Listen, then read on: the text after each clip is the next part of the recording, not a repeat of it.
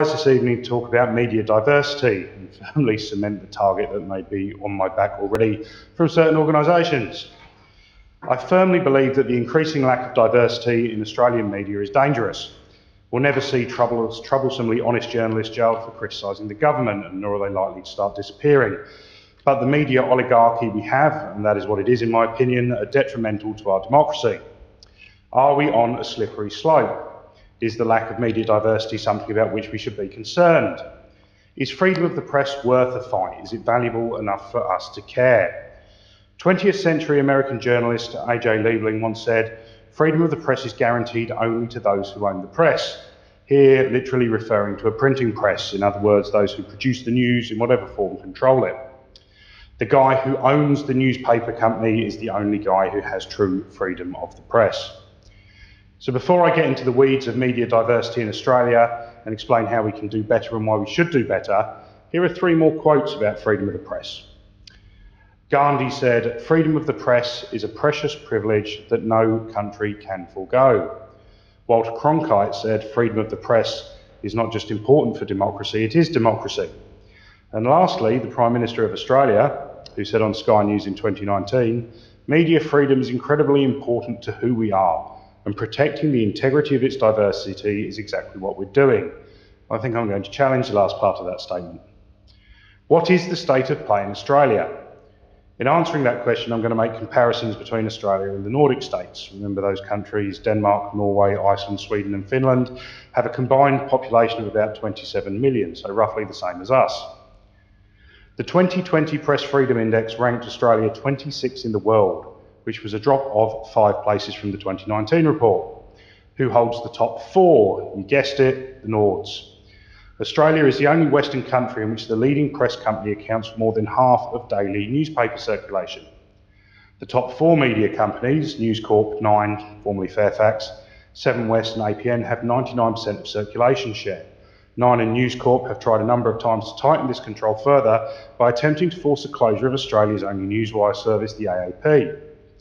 The ACCC reports that 106 local and regional newspapers closed between 2008 and 2018, effectively meaning that 21 local government areas no longer have any local news coverage. The Canadian Broadcasting Corporation places Australia 13th out of 18 Western countries for per capita funding of public broadcasters, of which Australia only has three the ABC, SBS, and NITV. The largest of these, the ABC's, had its funding halved since 87. Yes, that's half. The ABC cost Australia four cents a day in 87. It now costs us eight. Those numbers represent a dramatic decline in real funding. Finland spends twice as much on its public broadcasters, while Norway spends three times as much. Scott Morrison says everything's being done to protect media diversity, so is it really? Clearly, very little has been done to support our most trusted national broadcaster. Between them, they provide eight free to air channels and 15 radio stations. In the Nordic countries, there's 19 public TV channels and 19 radio stations with a number of population of 27 million. So they're leading the world in robust and free media. And how do they do it? I'll come to that later. There's an obvious ongoing and significant erosion of press freedom in Australia, which since the 70s, the moves to establish an Australian Press Council to function as a kind of ombudsman, Sweden has a media ombudsman, uh, since its inception, and all subsequent recommendations for greater media accountability have been vehemently opposed by vested media interests. And speaking of vested interests, and as yet another example of a problem, the increasingly perceived right wing bias by the Murdoch owned press in Australia was a significant driver behind former Prime Minister Kevin Rudd's 2020 petition calling for the establishment of a Royal Commission into media diversity. During its three week life, gained more than half a million signatures the largest ever electronic submission presented to an Australian Parliament. So here's a summary of what the inquiry found, and I quote from the report's description. Through the evidence presented to the inquiry, the committee found that the current regulatory environment from the news media is weak, fragmented, and inconsistent. As a result, large media organisations have become so powerful and unchecked that they've developed corporate cultures that consider themselves beyond the existing accountability framework. Just read that again. Through the evidence presented to the inquiry, the committee has found that the current regulatory environment for news media is weak, fragmented, and inconsistent. So the large media organisations are so powerful and unchecked, they now have corporate cultures considering themselves beyond the existing accountability framework. I find that disturbing. While national broadcasters continue to suffer a lack of support via severe funding cuts, ownership of media outlets by private companies is becoming more concentrated. So before looking at solutions, I want to stress that the current lack of media diversity in Australia has been exacerbated by a loss of revenue due to the challenge of digital media, which is dominated by tech giants. Before the advent of the internet, newspapers made most of their money from advertising. As online content providers have eaten into the readership of traditional print media, and in some cases even cannibalised each other, so too have advertising revenues fallen. For many providers, there's simply no longer enough money to pay for new services. So they've taken to installing paywalls and offering subscription only services, but this is in itself a restriction, a barrier for those who either do not want to pay for something that used to be free or for those who cannot pay. Access to journalistic product becomes increasingly restricted. The Nordic nations found a proactive and deliberate action to preserve and strengthen media diversity as a provision of political welfare. To this end, they enjoy strong financial and regu regulatory support from their governments, even in the face of declining readership of newspapers, for example. The political approach is pro journalism and news. The governments are very much for media diversity, and we aren't simply talking about the kind of lip service given federally. The attitude is that quality journalism, diverse and independent, is good for the public, and the citizens of the Nordic states agree.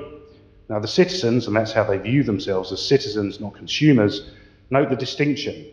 They want media diversity because they believe it is as important as defence, research, and infrastructure. They're concerned with government accountability and competent public policy making. The question is why? Why is high quality, responsible, diverse, and independent media important? And why is it seen as crucial to the health of a democratic state? Here's an interesting quote from Finlay Peter Dunne, a journalist and humorist who was writing in the late 1800s, early 1900s. He said, The job of a newspaper, journalism, is to comfort the afflicted and afflict the comfortable. Quality independent journalism is good for a democracy because it exposes corruption, contributes to both good governance and ethical decision making. It's about accountability. Imagine the social cost of underinvestment in journalism. Well, you don't have to because it's happening. It's about truth telling, the provision of information, and the stoking of the fires of public debate.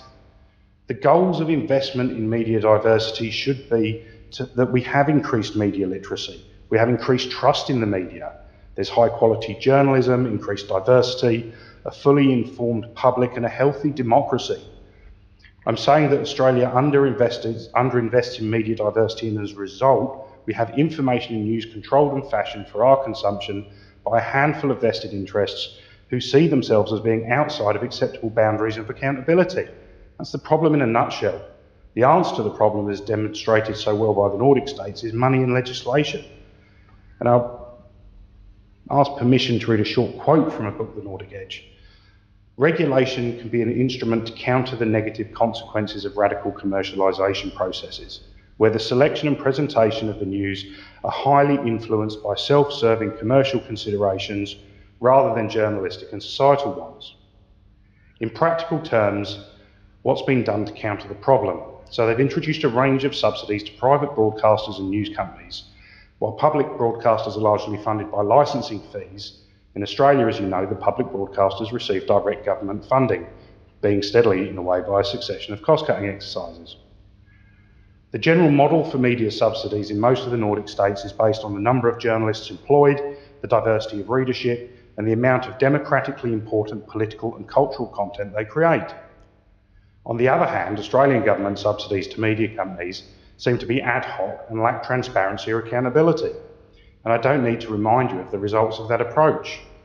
I call on Australian policymakers to consider the introduction of systemic permanent subsidies based on this model to ensure we're populated with enough independent news opinions to facilitate and accommodate a diverse range of views. Freedom of the press is not just important for democracy, it is democracy. Thank you, Madam Speaker.